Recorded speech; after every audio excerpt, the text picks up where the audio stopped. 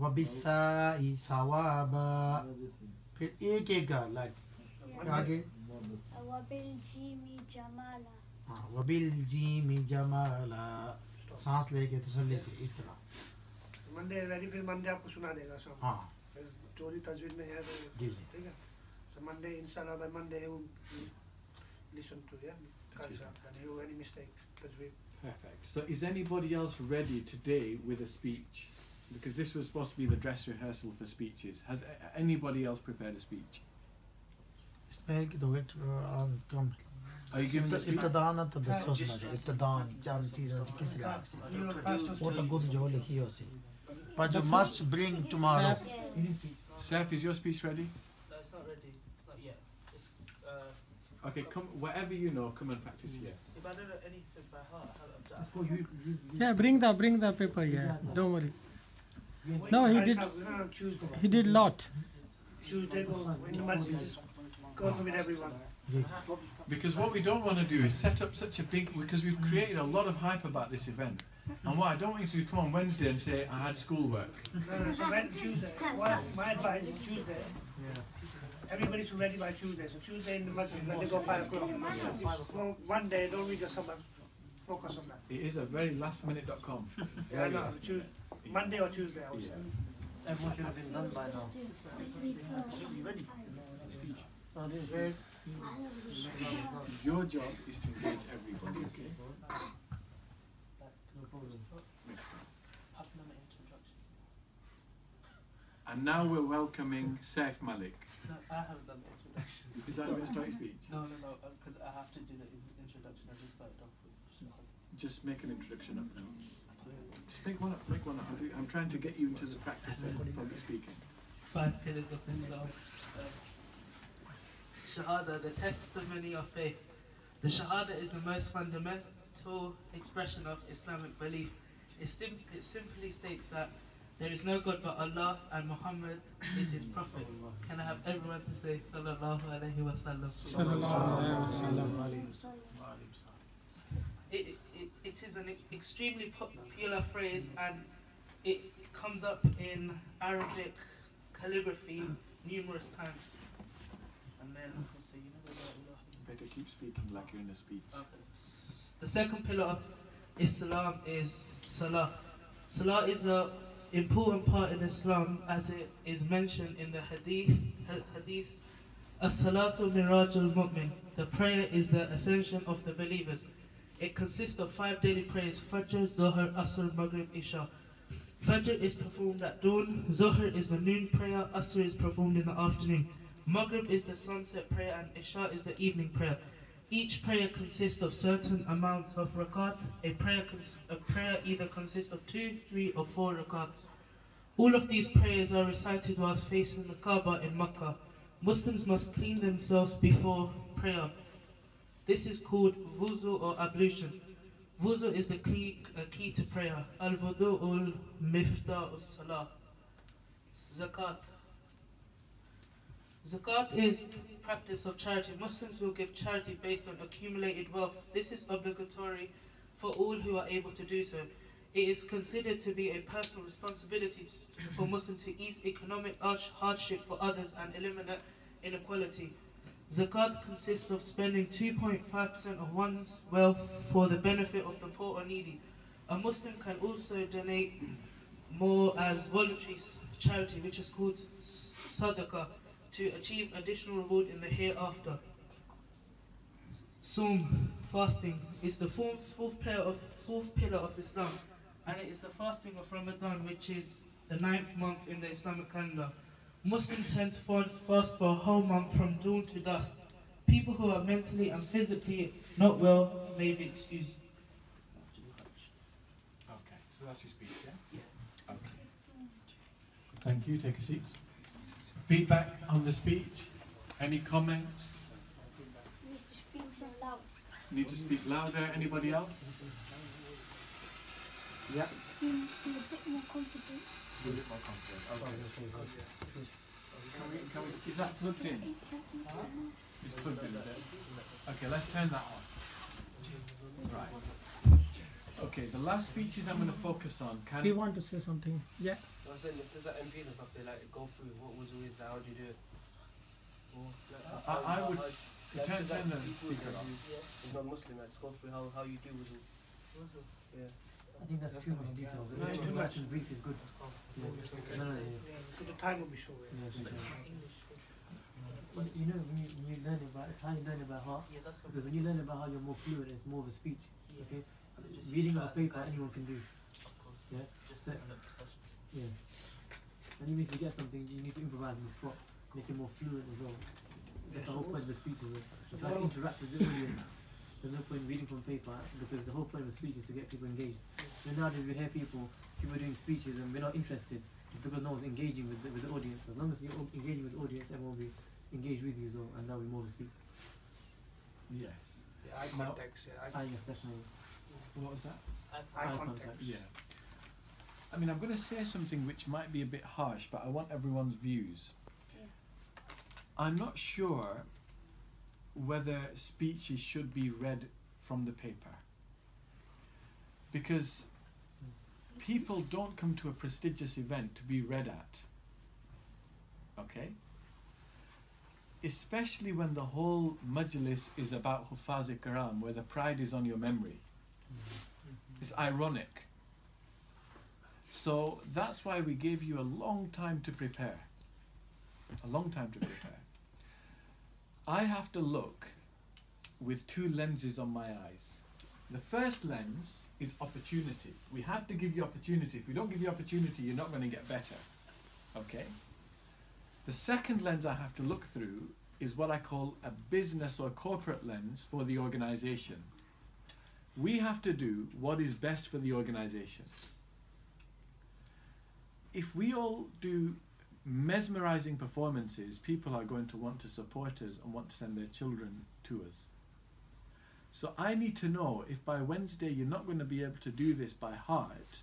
I mean, Quranic recitation, fine, you don't have to memorize that, but speeches at least should be memorized. If they're not memorized, what's the consensus? What's the view? Should they be read or not? I, I say as long as they have a few pointers, Bullet points. a few pointers, and they, they, they can start speaking on the pointers. Because if you're speaking on points, you're more fluent. It's not something rehearsed. Because there's, there's no, it's not really a speech if it's just um, memorized. Okay. Because let's say if um, you have your host thing, uh, your whole speech in front of you, mm, just use it as a guidance. But you I know, but you're more, li- you're more likely to be drawn by it. That happens because in, when, when you're in an audience, a big event, you get nervous Mm. Yeah. and your brain just says read. Okay. Yes. So I think the pointers I'll accept then as a middle case, but in future events I won't accept that as well. Even pointers are saying as in just a topic, yeah. saying the first uh, Hajj. Okay, like two two points, two main points you're gonna make. You look at the oh yes, I can talk about this. Yeah. As long as you have one point, even a word, then you know what you're talking about. Yeah. Then it's more likely to be fluent as well. Yeah. Okay. Now I'm going to give you two examples here, okay? Okay. I'm going to talk about your speech in two ways, Okay. And I just want to give you a hint. My speech is about the five pillars. I'm going to talk about the kalima. The first kalima is La ilaha illallah Muhammadur Rasulullah sallallahu alaihi wasallam. This this means um, this means this means the first part means um, um, okay. Uh, what does it mean? The second part means. Now I'm going to go on to the shahada. That's the first thing, okay? now here's the second thing. Let's say I genuinely forget the meaning. Yeah. Listen to the second speech. My speech is about the five pillars. The first pillar is the kalima, La ilaha illallah Muhammadur Rasulullah. The second pillar is, now which is smoother? Second. Second one, right? If you forget, Yeah. move on. Move on, okay, in public speaking. It's it's really off-putting to be hesitant in a public speech. It makes you look look bad.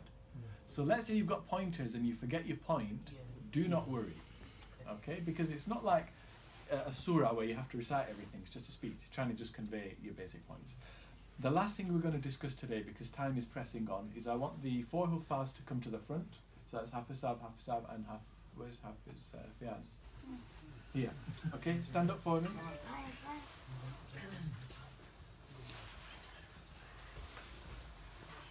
I know that you're not going to have much time now to prepare for your acceptance speeches, okay? So I want you to give it off the cuff. Does anyone know what off the cuff means? Just off the top of your head. Off the top of the head, yes, good, okay. So this is what's going to happen at some point in the event. We're going to say, now the moment that everybody has been waiting for, we are going to invite our four eminent Hufaz. Some of them are as young as, how old are you? Ten. How old are you? Twelve. How old are you? Thirteen. 13. Some of them, uh, did you finish when you were 10? Yeah. Yeah. Some of them are as young as 10 and they have memorized the entire Quran. Can we say Subhanallah? Subhanallah. To make ziyarah of these hufaz is a privilege for us, for our eyes to, in this day and age, see children who have dedicated their time, their heart, their energies to memorizing the Holy Quran. And I want to say to parents here that those children who have used their talent rather than playing games or PlayStation or consoles to memorize the Holy Quran, their minds have opened up so much that even their schoolwork has now become easy for them. I'm going to invite the four Hufaz. The first Hafiz is Hafiz Muhammad Ismail. Yeah. Hafiz Muhammad Ismail. I'm going to request Hafiz Saab to come to the stage. I'm also going to, to request Hafiz Fayaz Qazi. Muhammad, Muhammad Fayaz Boriawala. Muhammad Fayaz Boriawala to the stage. Yeah, I'll write that down. and I'm going to invite uh, Hafiz Aman Hussein. Aman Hussein to the stage and Hafiz. This has to be done by someone else. This won't be done by me. That's okay, no. fine. And Hafiz Adil to the stage. So we're all here now, okay? the first thing that we're going to ask the Hufaz Karam to do is they will recite the four quls.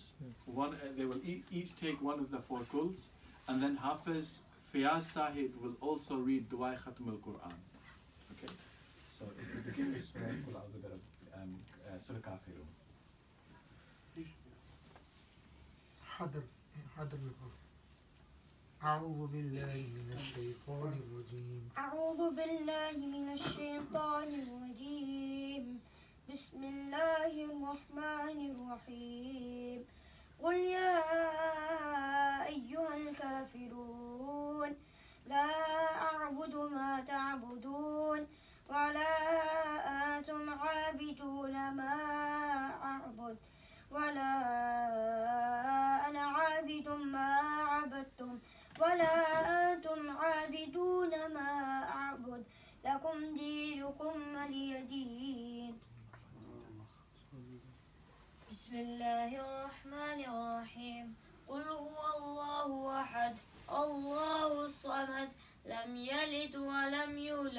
ولم يكن له كفوا أحد. بسم الله الرحمن الرحيم. قل هو الله أحد الله الصمد. لم يلد ولم يولد ولم يكن له كفوا أحد. بسم الله الرحمن الرحيم. قل هو الله أحد الله الصمد. لم يلد ولم يولد ولم يكن له كفوا أحد. أعوذ بالله من الشيطان الرجيم. بسم الله الرحمن الرحيم. قل أعوذ برب الفلق من شر ما خلق ومن شر غاسق إذا وقب ومن شر النفاثات في العقد ومن شر حاسد إذا حسد. بسم الله الرحمن الرحيم. قل أعوذ برب الناس ملك الناس إله الناس من شر الوسواس الخناس الذي يوسوس في صدور الناس من الجنة والناس Mohammad Ismail आपने कल कला को सही clear क्या करो उसने कुल हुआ अल्लाहु अहद आवाज खोल के और अ, मोहम्मद फियाज قل أعوذ برب الناس. ملك الناس. إله الناس. من شر الوسواس الخناس. الذي يوسوس في صدور الناس. من الجنة والناس